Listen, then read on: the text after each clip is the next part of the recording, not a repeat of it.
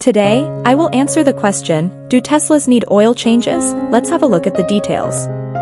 No, Teslas don't need oil changes because Tesla cars come with an electric motor instead of your regular internal combustion engine.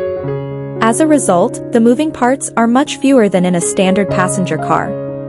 This is the reason that they don't have oil in their engine, so you don't have to worry about changing your engine oil. However, that doesn't mean that the car doesn't have fluids. Take, for instance, the drive units, which house your AC induction propulsion motors. These are responsible for making your Tesla move and yes, they do have oil in them.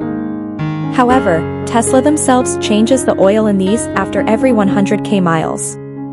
Other than that, there is a usage of antifreeze in the cooling system for the inverter, motors, and battery pack. This is no surprise since there are heat losses in the car. Tesla cars also come with brake fluid, which is no biggie since you're only supposed to get it checked out every two years. Thanks for watching our video. Please don't forget to subscribe to our channel.